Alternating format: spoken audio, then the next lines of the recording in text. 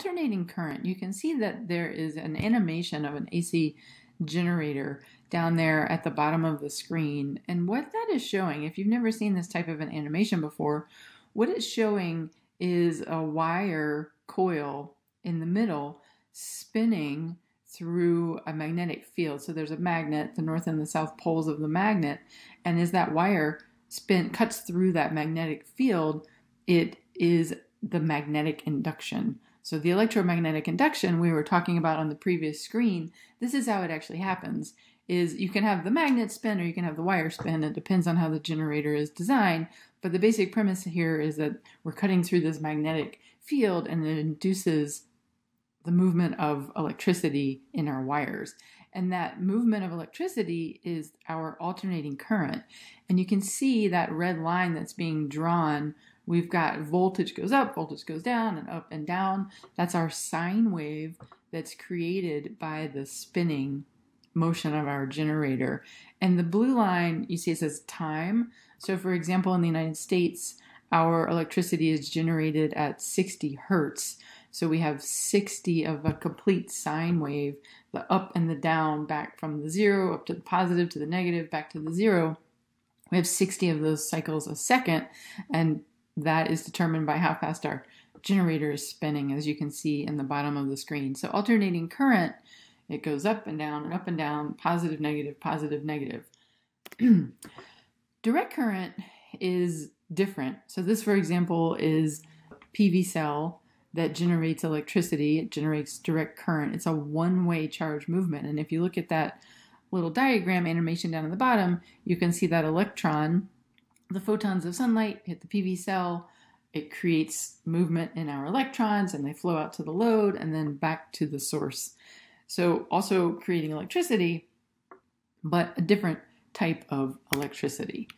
So let's think about this just a little bit more. So we've got alternating current that is generated by utilities. Every utility that I know of generates alternating current. There are some high voltage DC power lines out in the world, but our generation sources are generally speaking going to be AC sources. We've also got AC generators. You can buy a generator off the shelf at Lowe's or Home Depot to generate alternating current. So the alternating current goes back and forth and back and forth and back and forth. You can see the arrows changing direction here in the light bulb. Direct current is a one way direct current flow. You can see our arrows are flowing in the same direction from our battery to the light bulb and back. And so direct current is what photovoltaic cells and modules generate. It's also what batteries are going to provide us as a battery source. That's always direct current. And we'll talk about inverters and microinverters and how they can be paired up with modules or batteries. But without an inverter, you are not getting alternating current out of a PV cell or out of a battery. So, one thing I want to say about this is that, you know, people will argue about which one is better, which one is safer, why did we choose alternating current as the standard throughout the world?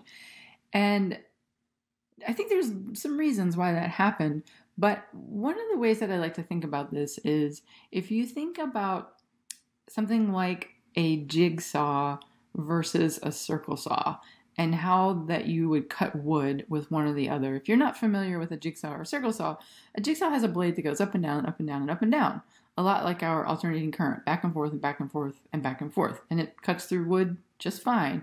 In fact, it does a lot of things that a circle saw can't do.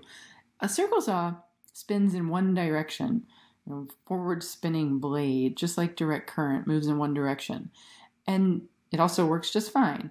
So a jigsaw and a circle saw, you can think of sort of like alternating current and direct current.